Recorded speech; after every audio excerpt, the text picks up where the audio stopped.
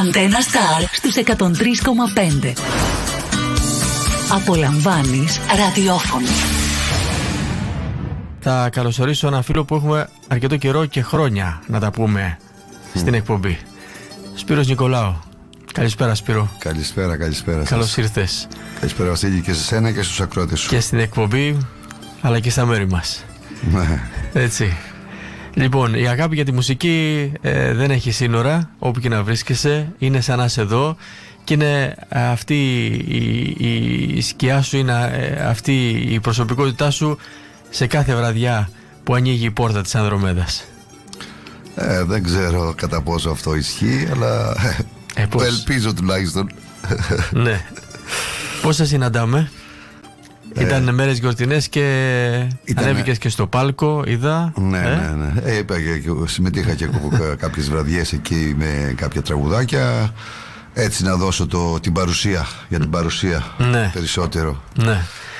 Ναι. Λοιπόν, ε, απόψε είπαμε να κάνουμε μια εκπομπή που θα έχει βάσει το ρεμπετικο ε, παρότι υπάρχει στα σκαριά η καινούργια δουλειά σου Ναι. ε, και με πολύ χαρά είδα πριν μου έφερες και ένα από τα τραγούδια τα καινούργια σου να μεταδώσουμε ε, που θα είναι στο ύφος αυτού που θα μιλήσουμε απόψε. Το ρεμπέτικο τραγούδι από το ξεκίνημά του και τις επιρροές του, με λίγα λόγια το λέμε, μέχρι τις μέρες μας.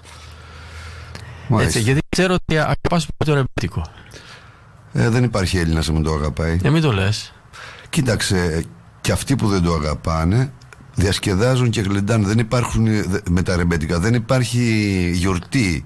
Δεν υπάρχει γλέντι που να μην Ναι. ακουστεί ρεμπέτικο ή να μην τραγουδηθεί Ναι, ρεμπέτικο. είναι τα γνωστά ρεμπέτικα τραγούδια του Μάρκου, αλλά υπάρχει μια πληθώρα τραγουδιών που είναι άγνωστα και τα οποία είναι διαμάντια. Σίγουρα, ναι. Λοιπόν, ε, πού πάμε τώρα, ξεκινάμε αυτό το διπορικό. Αρχές του περασμένου αιώνα. Καταρχήν, ε, βέβαια, ο χρόνος αυτός που διαθέτουμε εδώ δεν, ε, δεν Ε, φτάνει είναι να, αδύνατο. να Ούτε το ελάχιστο. Ναι, ούτε. Ναι. Γιατί πραγματικά το ρεμπέτικο είναι μια- ένας πλούτος ο οποίος είναι. α, ε, ας- ε, πώς το λένε, ε, δεν τελειώνει ποτέ. Και αν ψάξεις ε, δεν μπορείς να ξεχωρίσεις ε, σ- εύκολα κάποια. Να, να απομονώσεις και να ξεχωρίσεις ότι αυτό είναι το καλύτερο ή κάποιο. Έχει απίστευτα τραγούδια. Τέλος πάντων, ε, εγώ επέλεξα κάποια ας πούμε αντιπροσωπευτικά του ρεμπέτικου γιατί πιστεύω ότι πλέον το ρεμπέτικο εκφράζει πολλά πράγματα για τον Έλληνα. Δεν τα εξέφραζε πάντα. Πάντα τα εξέφραζε, αλλά πλέον ε, πιστεύω ότι έχει μπει στα κύτταρα του, πολι- του, του πολιτισμού της Ελλάδας. Είναι δηλαδή το DNA, το μουσικό DNA της, ε, της Ελλάδας.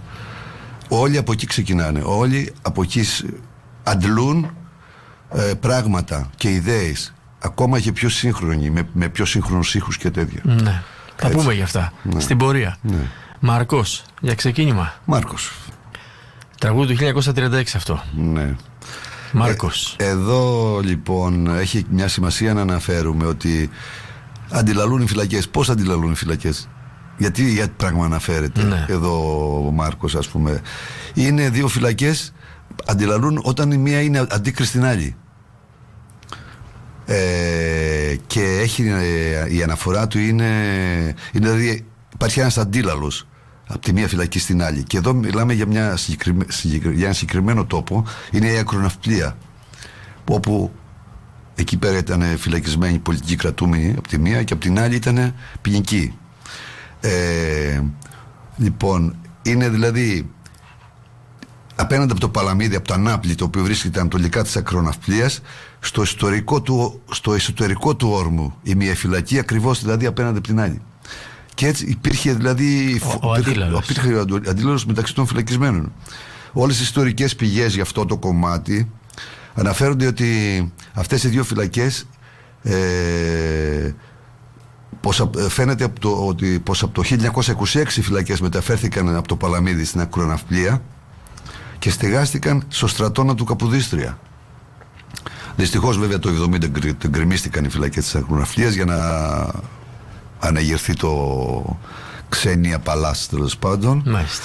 θέλοντας βέβαια να σβήσουν από τη συλλογική μνήμη μια πικρή σελίδα της πρόσφατης ιστορίας του τόπου μας.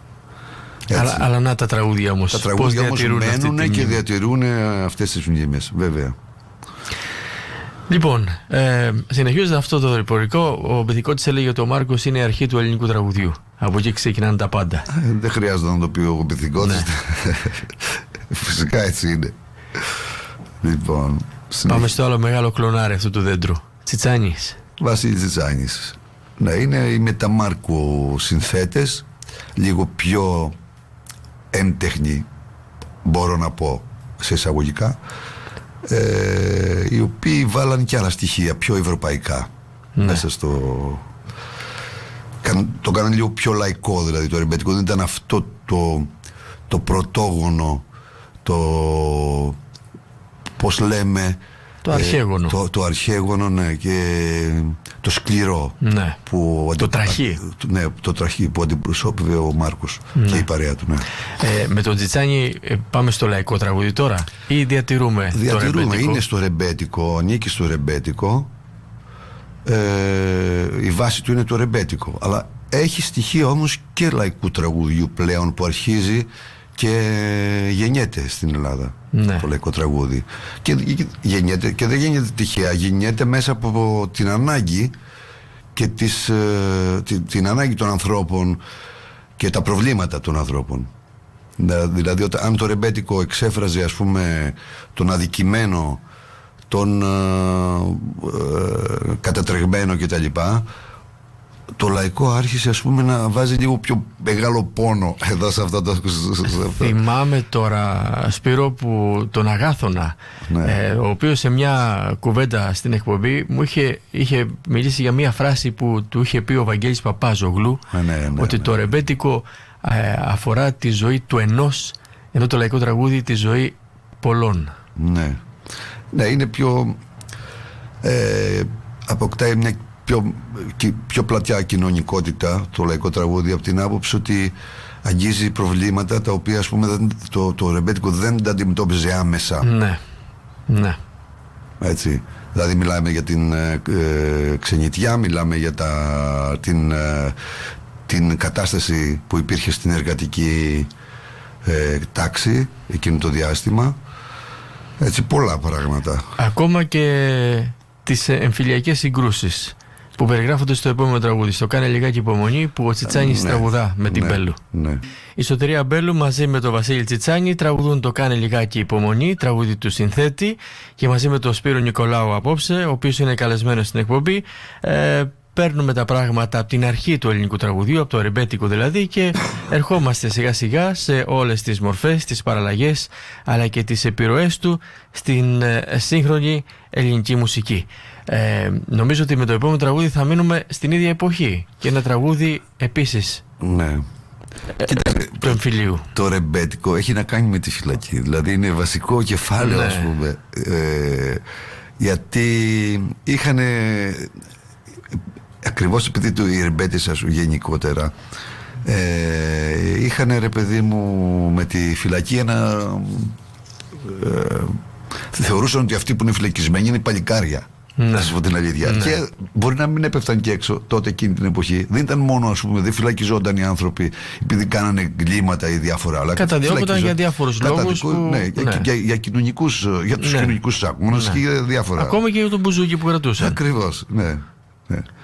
Λοιπόν, αυτό το τραγούδι, το επόμενο τραγούδι είναι του Καλδάρα, έτσι δεν είναι; Απόστολος Καλδάρας βέβαια. Και φυσικά ο Καλδάρας ε, άκουγε τους φυλακισμένους, περνούσε από τη φυλακή έξω και άκουγε τους φυλακισμένους. ε, Και είναι η ιστορία του τραγουδιού αυτή και που λες; είναι η ιστορία του τραγουδιού, ναι. Και έγραψε αυτό το τραγούδι. Στέλλα Χασκίλ εδώ. 1947 η Στέλλα Χασκίλ τραγουδά Απόστολο Καλδάρα το νύχτο σε χωρίς φεγγάρι με πάμπολες επανεκτελέσεις ως τις μέρες μας. Ναι, βέβαια, Αυτό το βέβαια. τραγούδι. Ε, έτσι και θα ήθελα να σε ρωτήσω Σπύρο για ε, τη διαφορά μάλλον για, για τη γοητεία του ρεμπέτικου και του λαϊκού τραγουδιού. Εσύ που ανήκεις περισσότερο; Κοίταξε, εμένα μου αρέσει περισσότερο το ρεμπέτικο. Ε, ναι. Λοιπόν, ε, όχι το λαϊκό. Παρότι το- έχει ένα περιορισμένο πεδίο. Ναι. Το λαϊκό είναι Κοίταξε, το, το λαϊκό, το ρεμπέτικο κλείνει τον κύκλο του γύρω στη δεκαετία του 50-60. ναι. Εκεί. Ε, αλλά αυτό που έχει αφήσει πίσω, αυτή η βάση δηλαδή που έχει αφήσει, ε, επενδύει, είναι επένδυση για όλο τα μετέπειτα ας πούμε ε, μουσικά πράγματα στην Ελλάδα. Έτσι. Ε, όχι ότι δεν υπάρχουν υπέροχα λαϊκά τραγούδια, υπέροχα λαϊκά τραγούδια βγήκανε εκείνη την εποχή που και μάλιστα μιλάνε έτσι για την κοινωνική ανισότητα, τη φτώχεια, τους πολιτικούς περιορισμούς της μεταπολεμικής Ελλάδας Ακόμη και για τη ζωή και τον έρωτα, το θάνατο, τον, όλα, για όλα τον αυτά. έρωτα, Ναι. ναι. Ε, και έχει και σημασία να δούμε και το χορό που γινόταν τότε ας πούμε με αυτά τα τραγούδια έχει σημασία γιατί πλέον και, και ο χορός έχει αλλοιωθεί μόνο αυτό έχει αλλοιωθεί Ναι. σήμερα Οι ρυθμοί λες, οι- το ζεϊμπέκικο. όχι, οι- όχι τόσο οι ρυθμοί, αλλά πώς χορεύουνε. Πώς το, χα- πώς το χορεύουνε.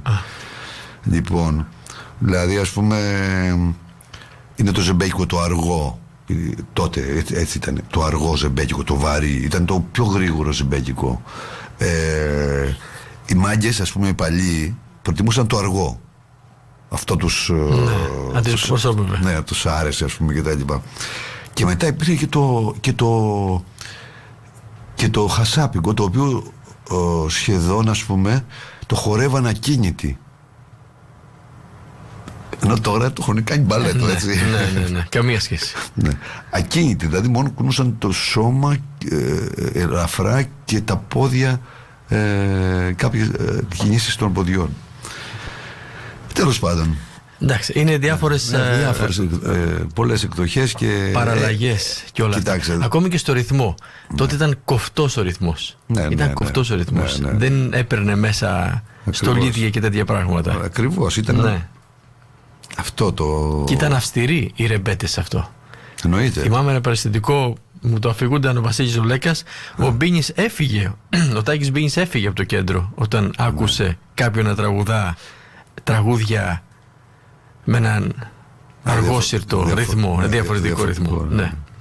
Λοιπόν, μιας και μνημονεύσαμε τον Πυθικότσι, ε, οι επανεκτελέσεις του τότε το 60 ήταν Τεράστιο. βάλσαμο και για το Βαμβακάρι, Ναι, ναι, ναι. αλλά και για την ελληνική μουσική και το λαϊκό τραγούδι. Κοίταξε, ο Μπιθικότης ήταν από τους ανθρώπους που ανεβάσανε πάρα πολύ τον Μάρκο σε μια εποχή που περνούσε πάρα πολύ δύσκολα ο ίδιος. Ήταν, ε, είχε, περάσει, είχε μπει στο περιθώριο, Ναι. δεν πήγε, Ναι, μπορούσε ναι. να πάει για δουλειά, δεν τον παίρνανε, το θεωρούσαν λίγο... Και ο Μπιθικότης ήταν ο άνθρωπος ο οποίος τον, α, τον βοήθησε πάρα πολύ σε αυτό. Φυσικά εντάξει, οι ικανότητες φωνητικέ του Μπιθικότση δεν συγκρίνονται έτσι για εκείνη την εποχή. Ήταν από τους καλύτερους τραγουδιστές και για με, ε, πολλά χρόνια μετά. Ε, Και ο, ο Βαμβακάρης ήταν αυτός που επηρέασε τον Πυθικότσι να πιάσει τον μπουζούκι. Ναι, ναι. Μια φούντωση, μια φλόγα και τέλος. ναι, Αυτά. Λοιπόν, διαφημιστικά μπροστά μας, τα ακούμε και επανερχόμαστε. Λοιπόν, τι ακούσαμε, Σπυρό; Ε, είναι η, υπό, Αγαπημένος η αυτό. πόγα. Θυμάμαι σε παλιότερες εκπομπές που μου το τραγουδούσες αυτό. Ναι, και το, το έλεγα πάντα στο μαγαζί. Μου το ζητάγανε, ας πούμε αυτό. Ναι. Γιατί το αγαπάς ιδιαίτερα αυτό; Ε, είναι, μ' αρέσει πάρα πολύ ο ρυθμός Ο ρυθμός. καταρχήν. Ναι. Και είναι από τα, τα ρεμπέτικα της Αμερικής. Ναι. Είναι Ηχογραφής Αμερικής. Ναι, ναι. Ε, τα οποία και αυτό είναι ένα μεγάλο, πολύ μεγάλο κεφάλαιο όσον αφορά τις, τις ηχογραφίες της Αμερικής.